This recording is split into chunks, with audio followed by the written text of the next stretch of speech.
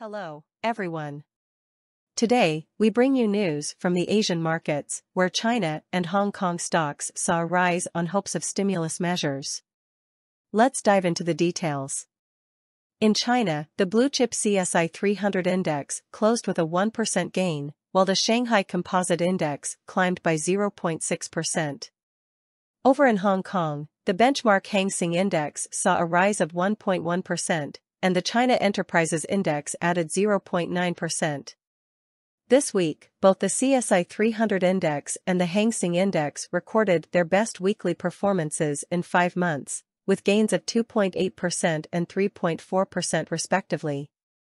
Sources involved in policy discussions revealed that China is planning to introduce more stimulus measures to support its slowing economy.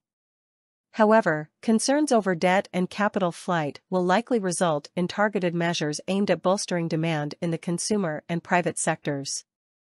According to the Wall Street Journal, Beijing is considering issuing special treasury bonds worth approximately 1 trillion yuan, $140.17 billion, to assist indebted local governments and boost business confidence. Despite these reports, UBS senior China economist Ning Zhang suggested that China is unlikely to issue such bonds in the near future, unless there is a significant deterioration in the economy and exports weaken more than expected. UBS also lowered its GDP growth forecast for China in 2023 to 5.2%, citing softer than anticipated growth in the second quarter.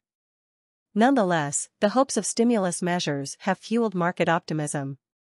Morgan Stanley analysts noted that trading volume increased as hopes for easing grew. Open market operations and medium-term policy loan rate cuts provided support to the market. The analysts also mentioned that they anticipate further easing efforts to be implemented in late June or early July, which they believe will be crucial for a revival in confidence. In terms of sectors, stocks related to artificial intelligence, AI, saw significant gains, with Kunlun Tech surging by 11.6%. As the week concludes, investors remain optimistic about the potential stimulus measures in China, leading to the positive market performance we witnessed today. That's all for now. Stay tuned for more updates on the financial markets.